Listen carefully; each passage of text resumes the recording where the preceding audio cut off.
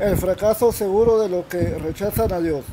No existe doctrina, religión o filosofía que haya enfrentado tanta oposición y violencia como la doctrina y el gobierno de Cristo.